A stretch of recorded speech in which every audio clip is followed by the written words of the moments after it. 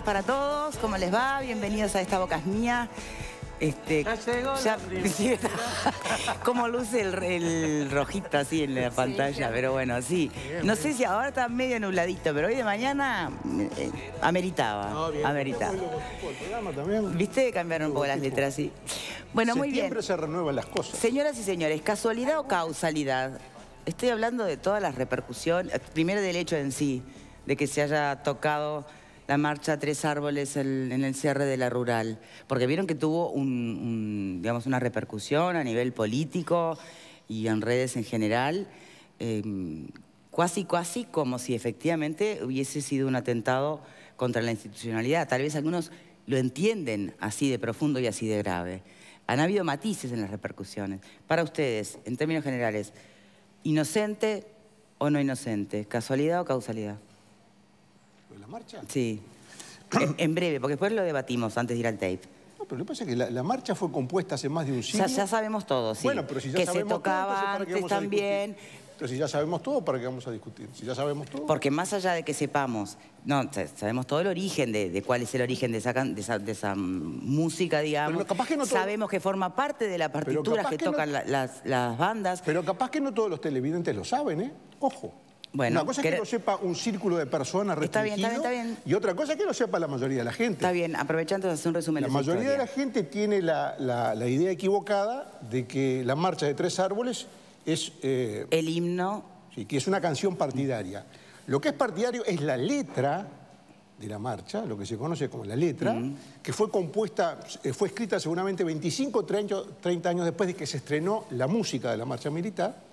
La letra es de un poeta de la Valleja, Araujo. Casas Araujo, y la música fue compuesta por un teniente del ejército, Gerardo Metalo, integrante de las bandas militares de principio de siglo, que escribió esa obra musical, esa marcha militar, en homenaje a un cuerpo de- del ejército de línea, como se decía entonces, que peleó contra los blancos en la batalla de Tres Árboles.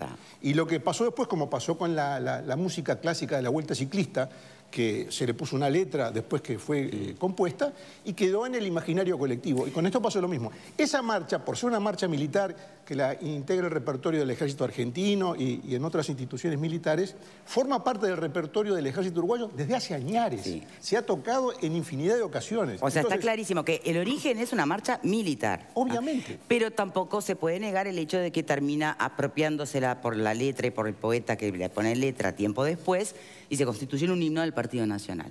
Algunos de verdad han visto este episodio como algo más inocente y otros como algo, una provocación gravísima. Vamos a repasar las repercusiones y después venimos a debatirlo en piso. A ver.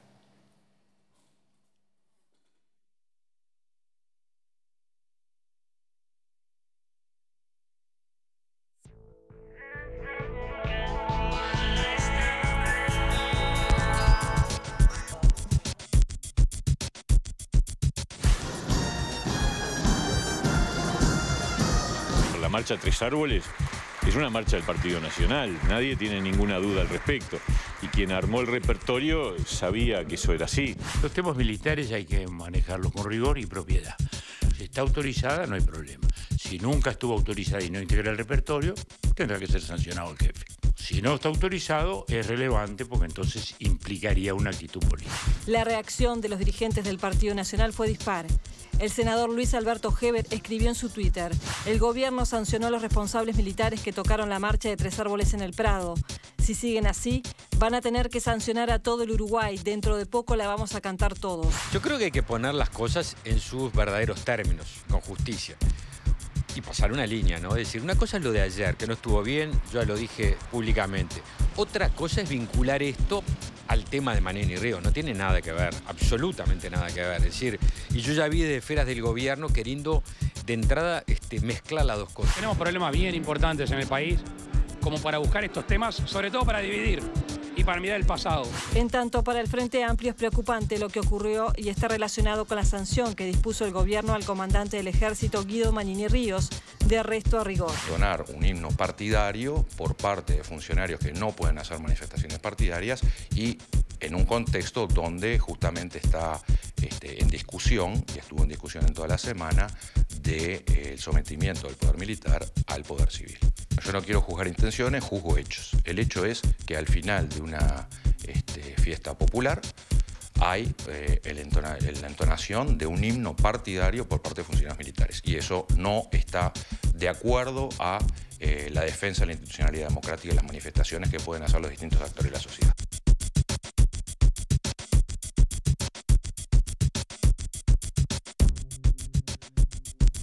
Bien, a ver, no nos podemos olvidar del contexto que tiene esta situación y es la sanción, el arresto rigor dictaminado para el comandante jefe del ejército, eh, Manín Ríos, mm, que tuvo su gran polémica y que todavía está este, mm, en, estudio ese tema. Es decir, ese es el contexto que se suma y, le quita inocuidad al episodio de la Rural del Prado. Tenemos en este momento una telefónica con Wilfredo Paiva, que es el vocero del ejército, a quien podremos hacerle algunas preguntas sobre este tema. ¿Me escucha bien? Sí, perfecto. Buenas tardes. gracias, Paiva. Buenas tardes. Eh, bien, sabemos que hay una investigación en curso, no sé qué tan avanzada está, qué se ha determinado. Por allí leía que hay una persona que es responsable de decidir qué música se tocan y cuáles, qué canciones se tocan y cuáles no, eh, quién es esa persona que autoriza y si en este caso puede haberse, se puede encontrar alguna intencionalidad particular. Bueno, sí, eh, con respecto a eso, siempre cuando las bandas van a diferentes lugares y diferentes servicios como tienen en la semana, elevan las, las marchas, el repertorio a tocar, a, ejecutar, mejor dicho, y, y bueno, y es autorizado este, por la, inspección de bandas. o sea, no es un director de orquesta que resuelve ese día que toca. No, no, no. Que ejecuta, no. Siempre se elevan eh, todos los servicios que son, son variados y en diferentes... Mm. Eh, en el correo de la semana cada una de las bandas y, principalmente las bandas más grandes como es esta de la Escuela Militar, sí. que, que tiene una categoría especial y... que tengo entendido también es de las pocas que puede toca, ejecutar la marcha Tres Árboles por la cantidad de instrumentos que requiere. Efectivamente, mm. e-, está interiorizada. Bueno, porque es categoría especial y que se basa en el número de instrumentos y, personas que tiene este, músicos. Y es la única porque necesita muchos instrumentos de viento. Entonces es una de las pocas que sí lo puede tocar. ¿Y quién es la persona entonces que me dice que autoriza que va o que no va en el repertorio dependiendo cada ocasión? Bueno, esto es la inspección de bandas. Inspección es parte de la investigación de quién era en el momento que estaba, que cuando se bajó, cuando se elevó las, las marchas a ejecutar, cuáles eran que, que bajó autorizado. Bien, ¿y quién propone cuáles son? ¿Toda la banda puede hacerlo? No, eso proponen los maestros de banda. Cada maestro de banda de cada una de las bandas este, ensaya diferentes marchas para, para diferentes lugares y, y después las, las eleva. Pregunta clave, la marcha Tres Árboles, ¿Está o no incluida en un repertorio general que hayan ejecutado históricamente las bandas militares? Eh, sí, es una marcha eh, antiquísima, de fin del mm. siglo XIX. Eh, es, aparte es en conmemoración al, valor demostrado en combate por el Batallón Segundo de Cazadores, en, que quedó casi diezmado, que quedó diezmado en esa batalla de Tres Árboles, un batallón del gobierno. Bien, pero también le constará que después fue de alguna manera un poco apropiada por el Partido Nacional aparte de que el poeta Araujo le puso su letra y... Claro, con, la letra es el himno, sin la letra eh, es la marcha, este, ah, esta que no solamente la toca el Ejército Nacional de Uruguay, que la toca el Ejército Argentino también. Bien. Em, ¿Cuándo fue la última vez que se ejecutó esa, esa canción en particular, Tres Árboles? bueno, eso es parte porque si bien se toca, se ejecuta en diferentes lugares, este, es parte de lo que la investigación está eh, hemos encontrado videos de, años anteriores que se ha realizado en, eventos públicos, como es el Día del Músico Militar, que, se tocó, está en YouTube. Ah. Eh, ¿De años anteriores a qué, de qué época me está hablando? Eh, ahora se, está se está buscando en otros lugares, pero pero sí, en eventos públicos, por ejemplo, el 2016 está en YouTube, que, se ejecutó esa marcha en el Día del Músico Militar. Pero o sea, se toca... Bien. ¿Y por qué cree usted entonces que generó tanto revuelo que se tocara en esta ocasión? ¿Es por el, digamos, por el contexto que, incluye el, um, al comandante en jefe y a la sanción y a esta suerte de, bueno, no parecen estar en las mejores relaciones ejército y gobierno, ¿no? Claro, yo, eh, entenderá que yo no puedo referirme a lo que pienso, sino me, me baso en los hechos este, no, no, sí, por favor, no queremos más arrestados. No, no, no, es que no, no, no puedo este, atribuir intenciones o, ver...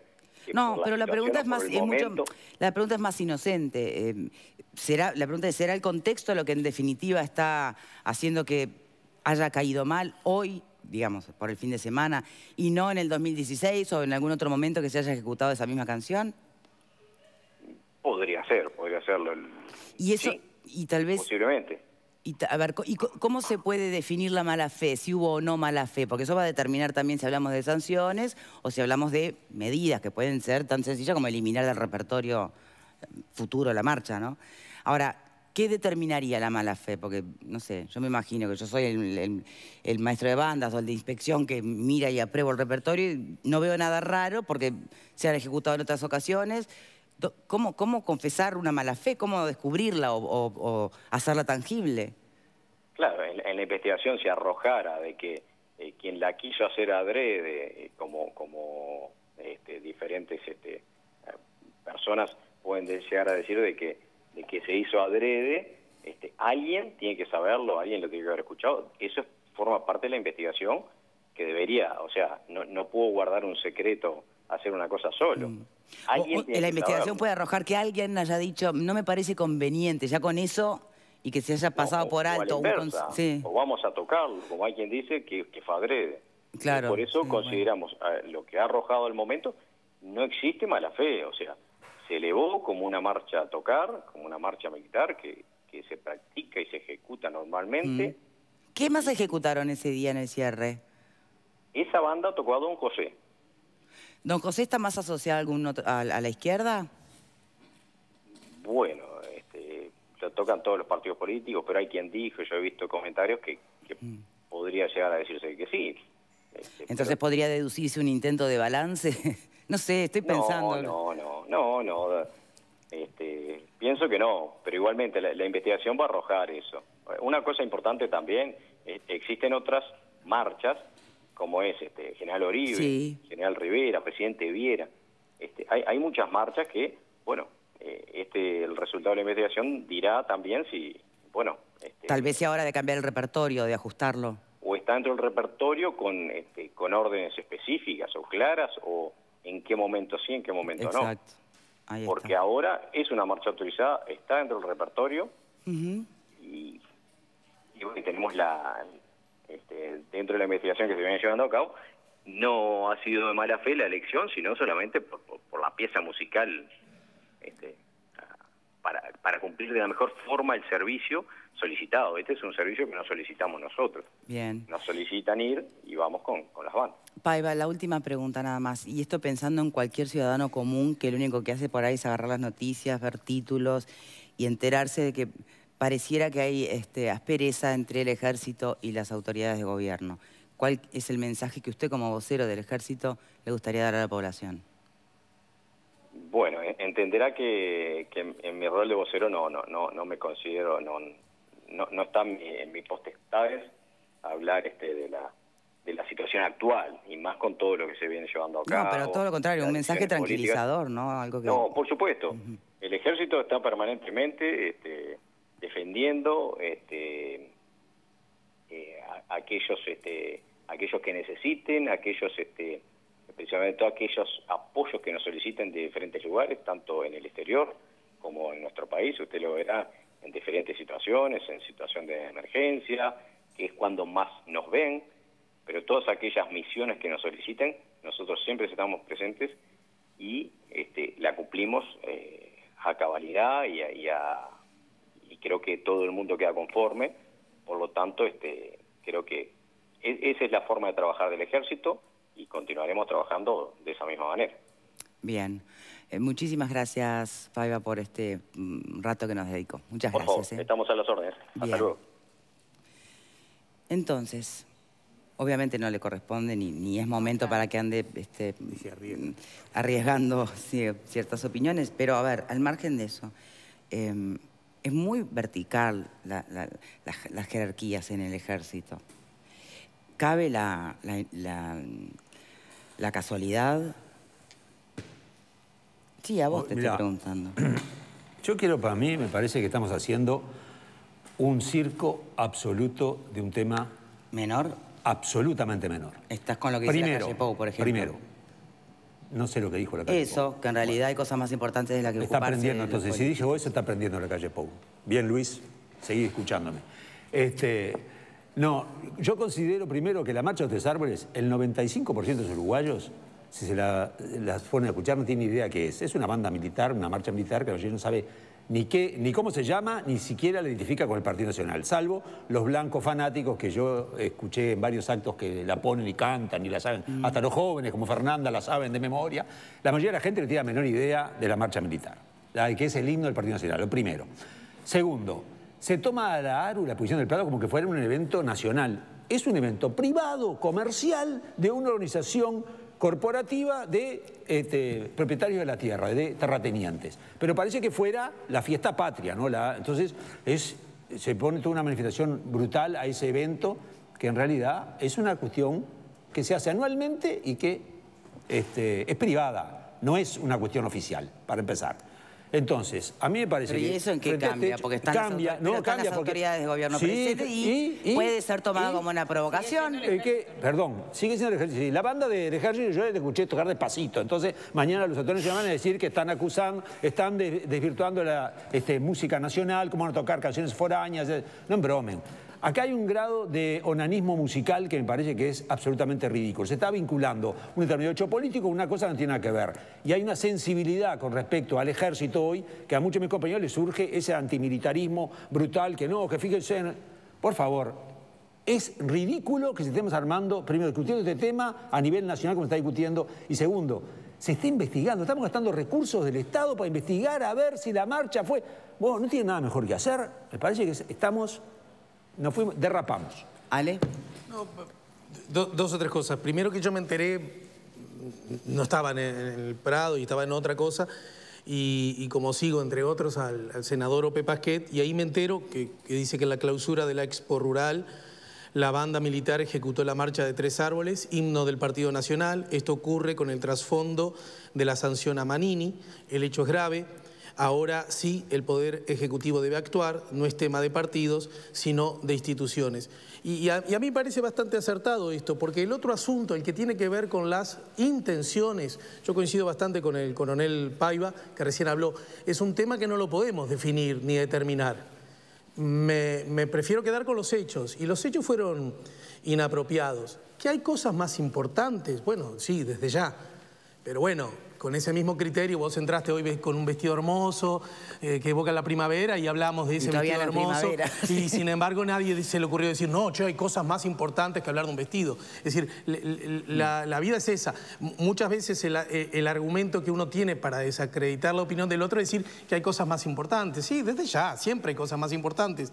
El asunto es que esto ocurrió y me parece a mí que no debió haber ocurrido. Y otra cosa, estoy seguro que el, ejército, porque, porque así funcionan las Fuerzas Armadas, en todas partes, también en Uruguay, es, es muy minucioso en los detalles y en la información. Es muy difícil que haya ocurrido algo alguna vez y no se haya tomado cuenta y nota de eso. Por lo tanto, me parece que... eh, seguir justamente esa, esa pista que vos pro- proponías recién, Victoria, acerca de cuántas otras veces, por ejemplo, esta misma marcha se tocó en instancias de este tipo, no, no creo que es algo que debamos saberlo por YouTube. Debe estar escrito en cuadernos claramente. Bueno, que eh, esto es parte de lo que están investigando. no, no, no, desde ya, pero quiero decir. Y, y otro asunto que me parece que es una eh, confusión, eh, supongo que honesta, pero que es común. Eh, El hecho de que algo haya ocurrido en, en un ámbito organizado por una organización privada no le quita el carácter público del acontecimiento. Más cuando es la, mar- la Fue un acontecimiento público, la expo es un acontecimiento público y yo no, no lo minimizaría desde esa perspectiva del respeto a la norma, la ley y la república. Tenemos que hacer una pausa, pero eh, ¿lo minimizás el caso o no? No, no lo minimizo, pero no lo saco del contexto. Bien, lo hablamos a la vuelta. Ya venimos. Primera pausa. Justamente.